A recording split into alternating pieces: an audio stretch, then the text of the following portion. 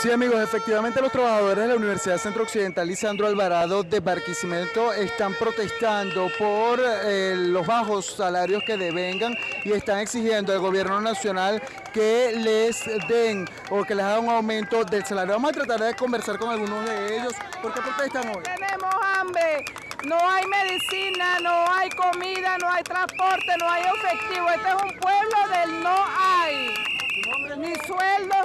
Tenemos. Alida Cira, empleada de la UCLA.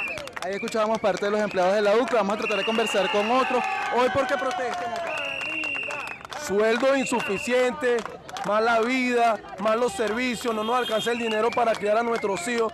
Todo es un desastre en este país. ¿Qué otras acciones van a estar tomando durante los próximos días? Bueno, vamos a estar tomando algunas decisiones luego de esta protesta en una asamblea. Bueno, y les estaremos informando a todos ustedes cuáles serán las acciones que vamos a tomar en el transcurso de la semana. ¿Tu nombre? Alexis Cordero. Ahí escuchábamos otro de los trabajadores. Seguimos conversando con ellos. ¿Para qué te alcanza el salario hoy día? Para nada. Nosotros ganamos 3 mil bolívares mensuales, nos descuentan todas las cosas que tenemos que hacer para pagar algunos elementos de nuestro gremio. No nos alcanza para comer en absoluto. Estamos empobrecidos, no queremos ser indigentes, somos docentes universitarios.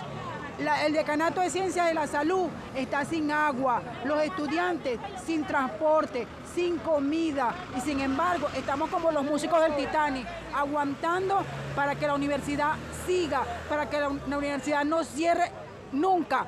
La UCLA tiene que seguir.